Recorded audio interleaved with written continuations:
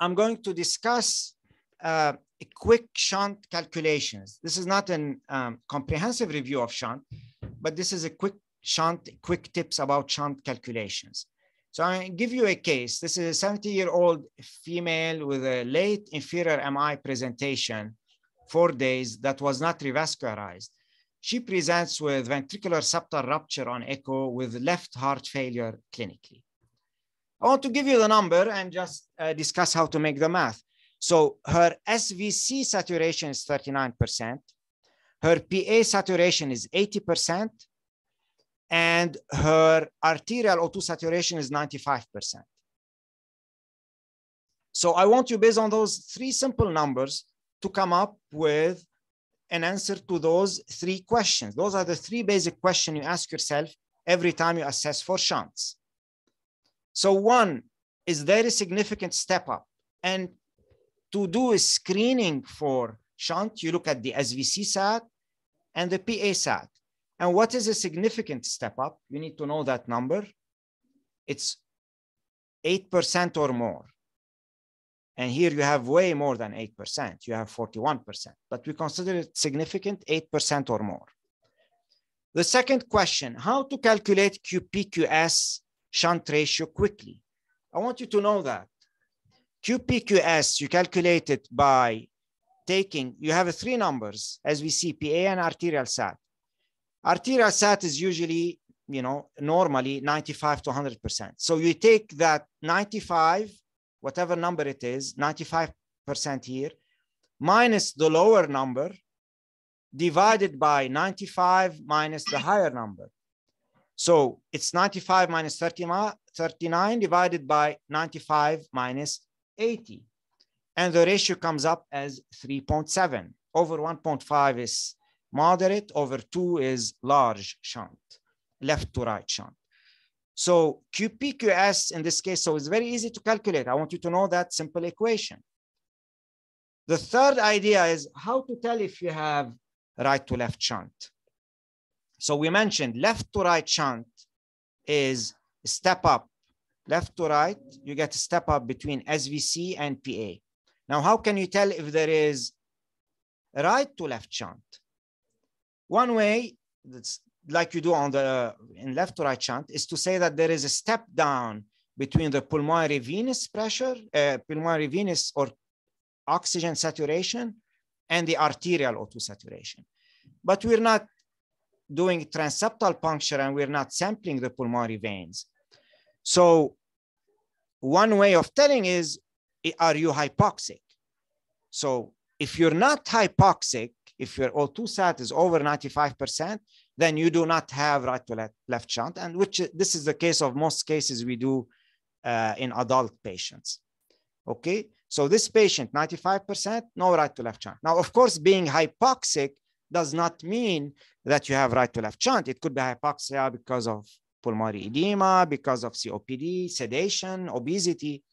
So if you're hypoxic, ask the patient to take a few deep breaths and give him oxygen. If that hypoxia improves, then it's not right to left shunt. If that hypoxia goes up to over 95% with one to two liters of oxygen and deep breath and waking him up, this is not right to left shunt. So that's how we assess for right to left shunt. Okay. So those are the three simple steps in any shunt. I want you to know them, especially that simple calculation, 95 minus the chamber, uh, the, the SVCO2 divided by 95 minus PaO2. Okay. If you have no questions, I'll just give you the rationale for this. Uh, you know, the bottom line is this equation comes from those equation I explained, the quick one, comes from the Fick equation.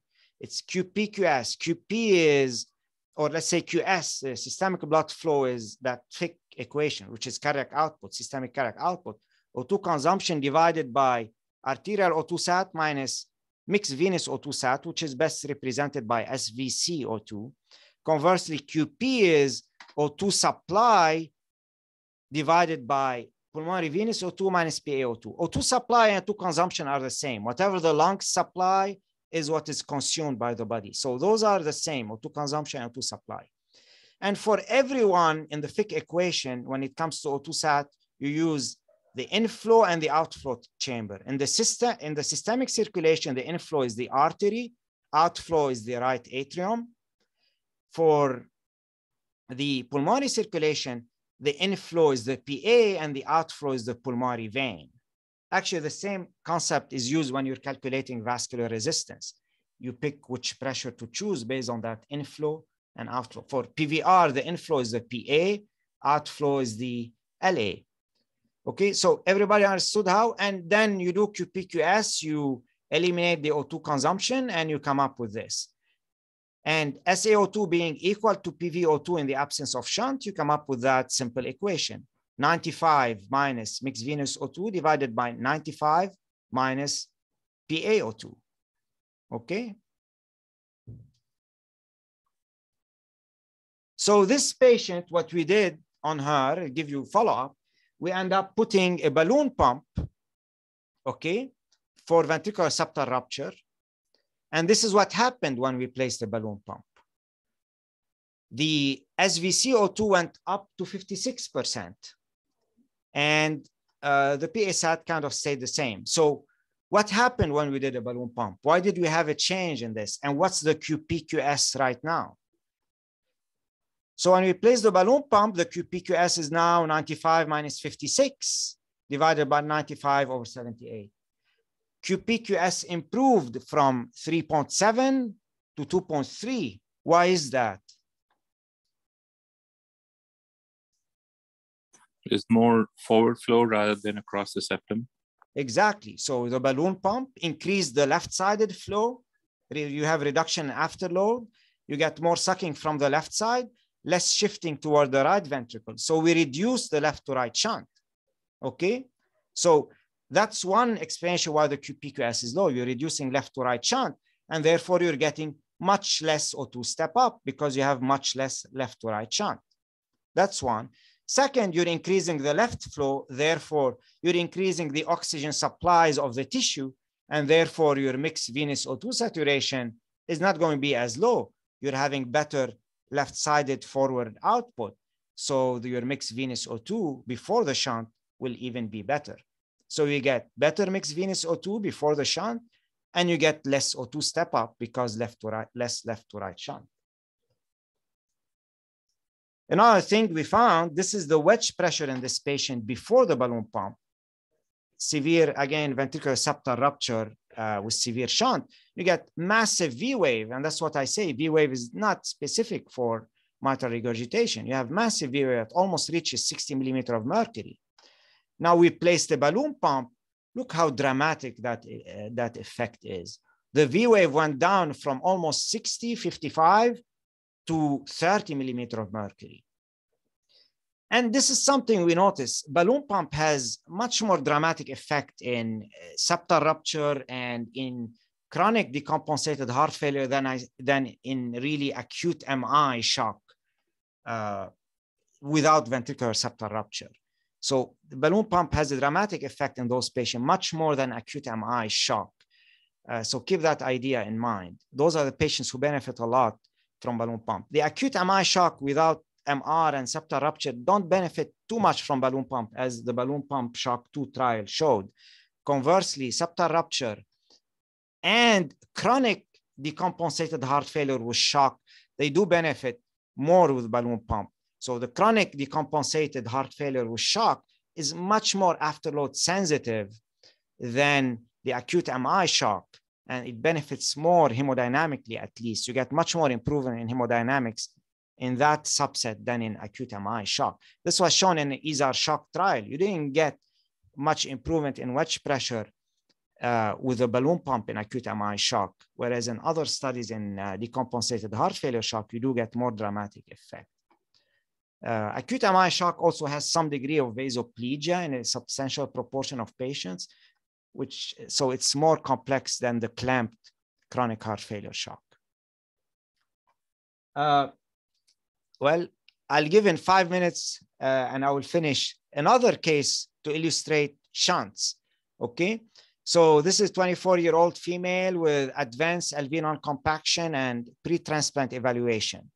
She has mixed pulmonary hypertension. She's had multiple cath before, yet nobody diagnosed her with shunt. And here's one message. You have to always systematically in any right heart cath sample the SVC and PA and screen for shunt, even if nobody asks you to do that. It's part of your systematic evaluation.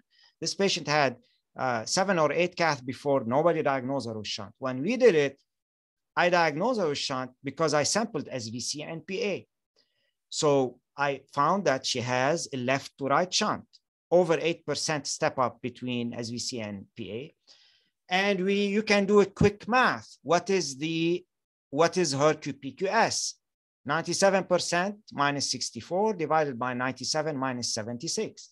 And it came up as it's 33 divided by uh, uh, uh, 22 or so. Anyway, it came up as 1.5, the shunt, okay? So she had a shunt. Uh, now, this is important because it could be contributing to her PVR because she has mixed pre and post capillary pulmonary hypertension. So that shunt could be contributing to her PVR. So we did NO inhalation because we want to make sure is that pulmonary hypertension reversible because before she can get transplant. Her PVR at baseline was still elevated over uh, three. So we gave her NO, and those are the numbers we obtained with nitric oxide treatment for 10 minutes. And here I want you to be able to do the math. Again, QPQS 100 minus 70 divided by 100 minus 88. So notice one thing with NO, you get much more O2 step up. At baseline, you had an O2 step up of 12. With nitric oxide, you get an O2 step up of 18%. So the QPQS has dramatically risen. The QPQS went from 1.5 to 2.5. Your left to right shunt has increased. I like you to assess those dynamic changes in left to right shunt based on what you do. So the prior case, I showed you what happens when you put a balloon pump. In this case, I'm showing you what happens when you do nitric oxide inhalation. In this case, you're increasing the light, uh, left to right shunt. And why is that? Why is nitric oxide causing more left to right shunt?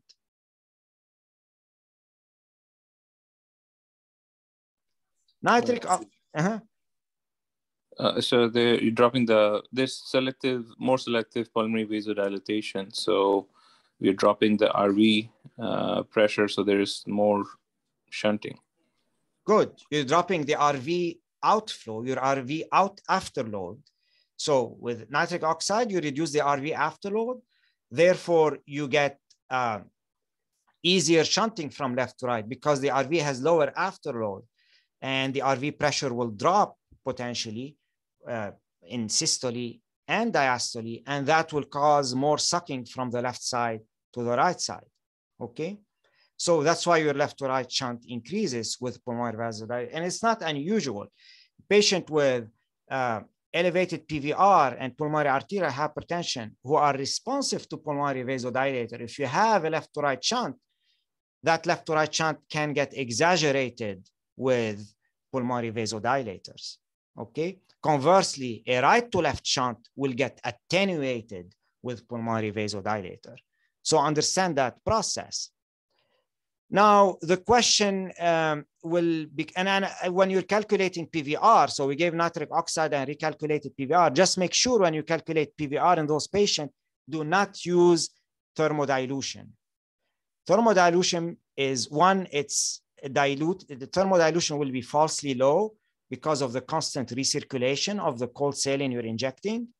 So that's one. More importantly, in those patients, you need, you need to use QP calculated via Fick using the PA arterial SAT uh, in your equation. So use the QP with PA arterial SAT. This is the SAT you pick for your QP, not the SVC SAT. So you need to use a QP calculation, then you calculate PVR in this patient. Do not use thermodilution. All right, so one may ask, should we close that shunt? It's 1.5 at rest, it gets worse with pulmonary vasodilators. I won't elaborate too much, we don't have time, but I would say definitely not. And the way you, you need to answer that question, whether you need to close that shunt or not, look at the RA pressure and look at the wedge pressure. So the patient's wedge pressure, which is LA pressure is 25, whereas her RA pressure is, you know, upper limit of normal. So that basically that left to right shunt is serving as a pop-off mechanism for the left atrium. It's 25 and 8. If you close that shunt, she will go into massive pulmonary edema. That 25 will shoot up to 35, 40. So that left to right shunt, which across PF, uh, PFO or more likely small ASD, is serving as a pop-off mechanism for the left atrium. You cannot close it, okay? Uh, it will, again, it will cause uh, massive pulmonary edema.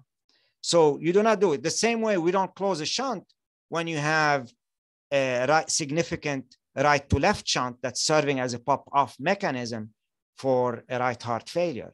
So like in Eisenmenger, we don't close the shunt because it's at this point it's serving to help release pressure of the right heart. Okay.